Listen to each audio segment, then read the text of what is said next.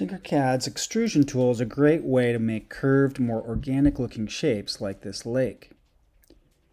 The orange sides of this office building and the back patio were also made using the extrusion tool.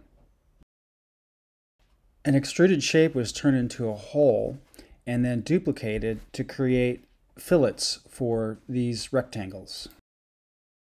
To use the extrusion tool, go to the pull down menu and featured under shape generators and drag out extrusion. I'm going to change the color and lower it a little bit. I'm also going to fit view to selected shapes or just type an F. I can now use the boxes and pull handles to create curves.